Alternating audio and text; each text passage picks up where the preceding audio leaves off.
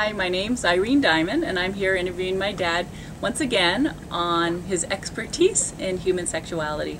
So, Dad, the million dollar question everybody wants to know nature versus nurture. What do you have to say? Well, it's a million dollar question because it's not a simple answer. And uh, I mean, I have my bias, but that bias comes from years of study. And I think it's much it depends on what trait we're talking about. There's not one trait that goes along with masculinity or femininity. There are many traits. So it depends which one we really ask about. I mean, if you ask about the language you use, then we have to say, well, it's very much social. Right. You see, but we, if you ask about certain behavior patterns, how you do, uh, are you more attracted toward males or females or something like that? Then it has a different answer.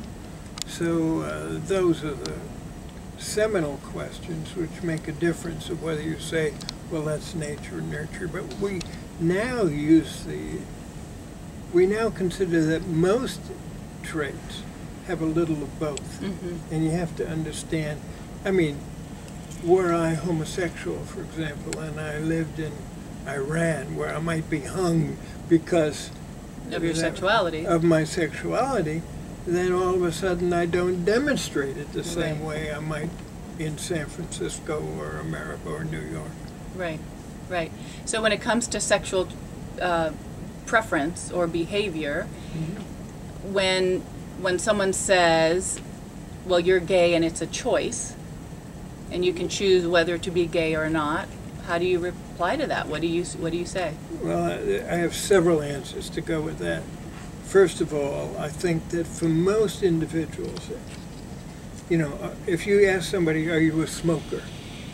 and they can say, "Well, yeah, I smoke once a week, right, they once have a, choice. a month." Well, no, but they're different.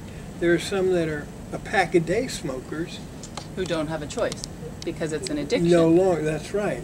But the person who says, "Yeah, I smoke once a month," it's very different. Well, it's the same thing with being gay or something like that. If you want to call gay is really a behavior pattern.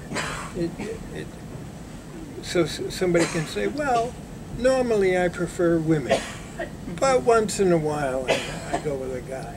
Mm-hmm. There are people like that. And Kinsey developed a scale, which he called, which we now know of as the Kinsey scale, which goes zero to six.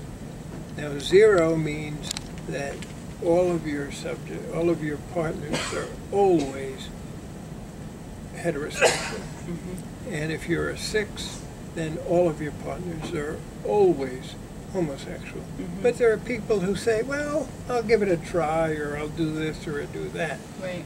Well, that person who says, I can give it a try, they can change more easily than the person who says, why would I want to go with a guy? Right, know, it's just something they wouldn't even consider. That's right. Right. So that that's not a simple answer. So for the educators or the church or people who who are suggesting that a person has that choice, that's not always the case. That's seldom the case.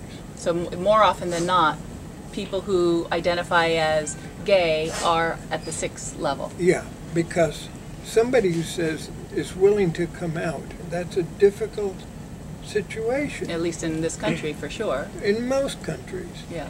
I mean, even countries that are relatively tolerant, yes, they'll accept people who are different, but there's always there's somewhat there's of still a stigma. stigma. Yep. Yes. Mm-hmm. Stigma and shame, and unfortunately, they go together with sex a lot.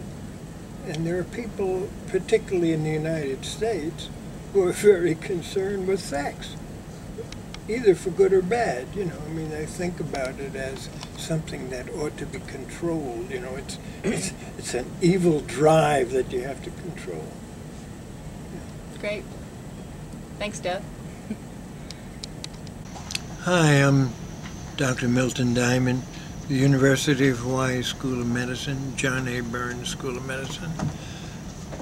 Um, if you're interested in things I have to say or interested in the things I've written about, I have a website you can check out. It's under the Pacific Center for Sex and Society.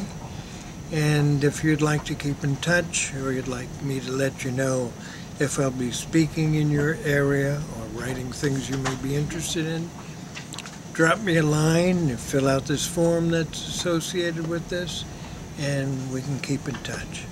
Thank you.